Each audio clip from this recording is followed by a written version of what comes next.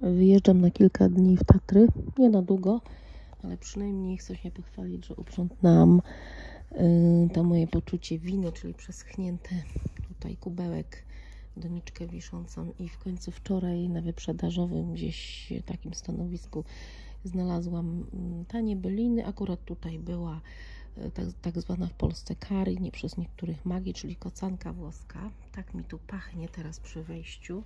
Dobrze mi się komponuje e, z tym wilcem, który co prawda mało kwitnie, ale pnie się mocno. Jeszcze e, drugą kocankę wsadziłam tu koło lili do pojemnika, gdzie uschły nasturcje, które w tym roku bardzo słabo kwitną. I chciałam powiedzieć, że e, okazało się, że wyrosła mi jednak druga kanna, pewnie ta kanna Stuttgart, albo nie, to jest chyba Pretoria, Pretoria, e, wyrosła. Co prawda, no, nie, nie uznaję tego za pełen sukces, bo pokażę tą pierwszą. Jeden, jedna jest Stuttgart, druga Pretoria. To nie jest pełny sukces, bo ludziom już kwitną wielkie kanny. Zresztą można kupić oczywiście kanny też już takie wyrośnięte, gotowe. Natomiast ja chciałam określone odmiany o pięknych, y, takich rzadko spotykanych kwiatach, ale nie wiem, być może się zabrałam za późno do tego, że one mi wybiły, ale są nieduże sadzoneczki, takie może 5-6 mm, cm. To są moje eksperymenty, doświadczenia. Nie, nie mam doświadczenia z kannami, ale będę próbować w kolejnych latach. Być może za późno je po prostu zasadziłam. Tak czy inaczej, no, okazało się, że obie jednak wybiły. To były kupowane oczywiście w jakichś dobrych szkółkach. Tutaj yy, przed wyjazdem jeszcze króciutka inspekcja. Przejdę na tył domu. Tu moje tuje. Mam wrażenie, że teraz ogródeczek jest mniej y, kwiatowy, mniej kolorowy. Dużo rzeczy uschło. Tu będę musiała te donice, jak wrócę, już coś z nimi zrobić, ale mm, no oczywiście teraz widzę, że u wszystkich już powoli y, startują hortensy. Ja już mówiłam, że mam dwie ogrodowe. Tu jedna Blue i druga nie wiadomo jaka. I z tyłu tutaj startują też Skyfall, pewnie Limelight i oczywiście najpiękniejsza moja Vanilla Fresh, która później się będzie przebarwiać. Natomiast y, widzę, że w ogrodach szaleją teraz ketmie syryjskie. Ja mam tutaj trzy malutkie, ale niestety w tym roku słabo mi kwitną, ponieważ ten tamaryszek, który się przegibuje, je zasłonił i będę musiała docelowo coś z tym problemem zrobić, ale już nie dziś. Też kwitnie już sadziec. Piękna bylina, piękne liście. Powącham no taki delikatny zapach, ale fajny, fajna delikka. Też tu z tyłu jeszcze pokażę, widać krwawnik kolorowy. Podobny w sumie do saćca.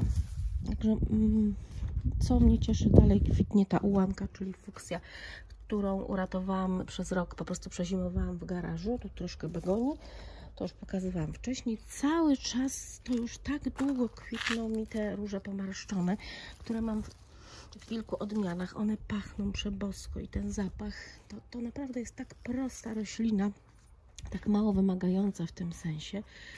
Tutaj, tutaj mi rośnie barbula kwalandońska, ale ona jeszcze nie kwitnie, więc nie będę na razie na niej zawieszać wzroku. I chciałam pokazać drzewko truskawkowe. Drzewko sięga mi już do, y, na trzeci sezon, sięga mi tak do, no powiedzmy, powiedzmy do piersi, bo jestem niska, około 58. Drzewko truskawkowe tutaj chyba zawiązało nawet coś. W tamtym roku były też owoce, ale oczywiście potem przyszły mrozy i one nie zdążyły dojrzeć, bo to jest nasz klimat, ale zimozielony na taki krzew, czy w innych krajach może nawet drzewo. U nas raczej krzew. Mm, takie ma twarde, świecące liście, podobne do rododendronów, ale e, czasami mróz je lekko uszkadza, ale u mnie sobie poradził, poradziło to drzewko truskawkowe, chruścina jagodna też się tak mówi u nas. E, bardzo je lubię, bo w zimie stanowi właśnie ten e, element zieloności. Zobaczę jeszcze co w kąciku. A, oczywiście milin, tej odmianie flamenko, w innym widzę też miliny pięknie kwitną. Nawet tu od strony w środka altanki, tutaj przy tej Ani- Vanilla Fres. No i niestety nadal nie kwitnie dziwaczek. Nie wiem, być może błędem było to, że posadziłam go w donicy razem z, z malutką jeszcze wtedy y, jagódką, ale za to y, liriopę szafirkowata liriopę zakwitła w donicach. Z tyłu oczywiście ten szczawik de Pego, jedna z moich ulubionych jakby y, takich bylinek, które wypaliły, z, z, to znaczy roślin, które są właściwie sadzone, sadzone, przepraszam, one są z, z bulw, sadzone z cebulek. Bardzo piękne liście. Szczawik de Pego i tu liriopę szafirkowata. Natomiast już nie, nie będę robić długiego filmu, muszę, bo okulary mi spadły. Y, Tutaj jeszcze jakaś lilijka. Powoli tam z tyłu się szykują mieczyki, gladiole, które u mojej mamy zaczynają już kwitnąć. W portulaki. Tylko z tym, że teraz nie ma słońca, więc to może później o więcej się rozwiną. Tu z tyłu tam rudbekie. Oczywiście y, rokitnik, owoce te pomarańczowe. Cały czas malwa drzewiasta kwitnie. nawłoć kanadyjska, tu z boku zaczyna ta następna nawłoć, pięciorniki. Wczoraj ku- dokupiłam też jedną werbenę patagonską, bo była w taniej cenie. Dosadzę ją później tam do tamtych z tyłu werben. Jedna jeżóweczka. Ja lubię, nie wszystkie odmiany lubię określone kolory, więc też nie wszystkie u mnie przeżyją. Też pięknie się prezentuje perowskia.